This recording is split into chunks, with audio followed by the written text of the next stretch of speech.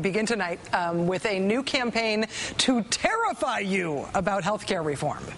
Within Congress, where what's going to happen is actually being worked out, the action is all among Democrats. And frankly, things are happening really fast now. Pressure from the left for major reforms is heavy, and it is starting to change the range of what's possible. Conservative Democratic Senator Max Baucus saying in an interview with the New York Times late today that because of pressure from the left, he will make more generous the subsidies in his bill to help people afford health insurance.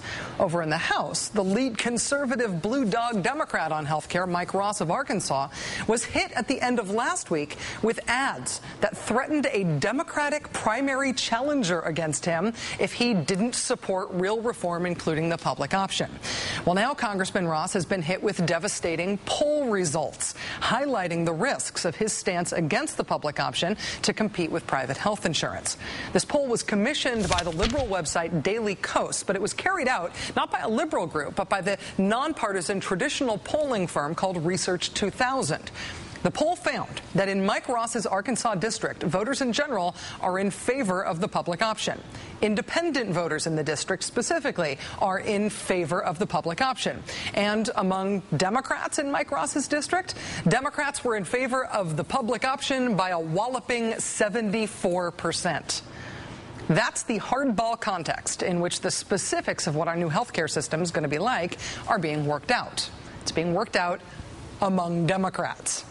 Republicans are just not a major part of the legislative process right now, as evidenced by the fact that even a senior Republican senator like Orrin Hatch today offered an amendment to the Baucus health care bill, singling out, and I quote, any state with a name that begins with the letter U to get special federal health care assistance.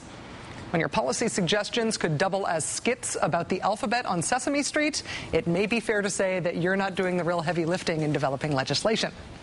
But even as Republicans become more and more irrelevant to the content of any health reform bill, they are launching new attacks on the whole idea of reform itself.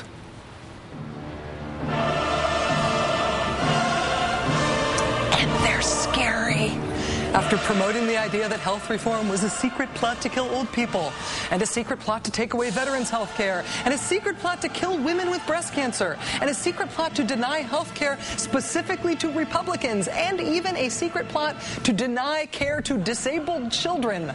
That one was particularly classy. Just when you thought they might be running out of groups of Americans to scare about what secret plot lurks within health reform, they found a new one. A new survey being sent out by the National Republican Senatorial Committee says that health reform is actually a plot to deprive you of health care on the basis of your race. And you know, the president is black. So we don't want to give you any ideas, but guess which race is going to be discriminated against? Under the heading Rationing and Restricting Health Care.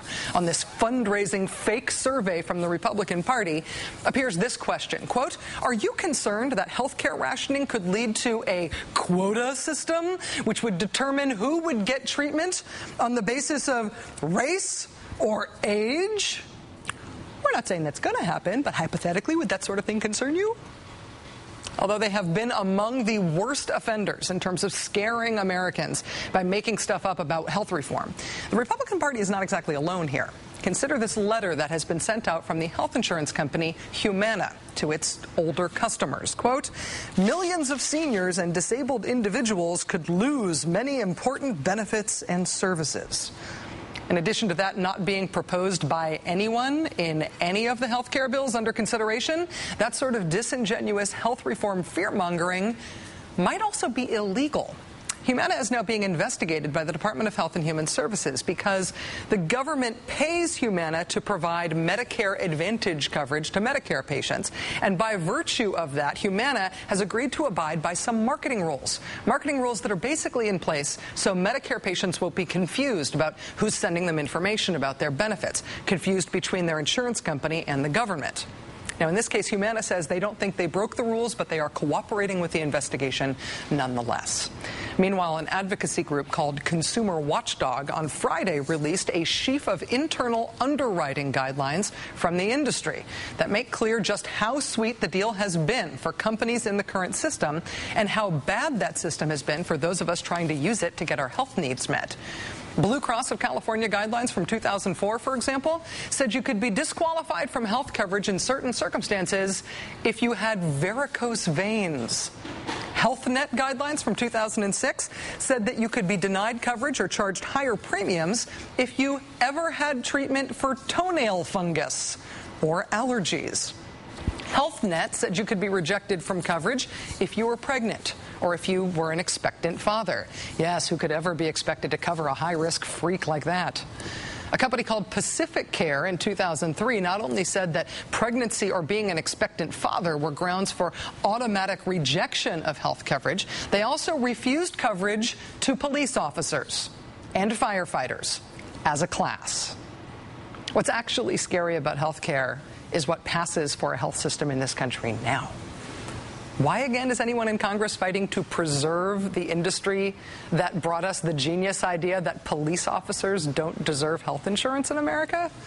Why is it so important to preserve that system?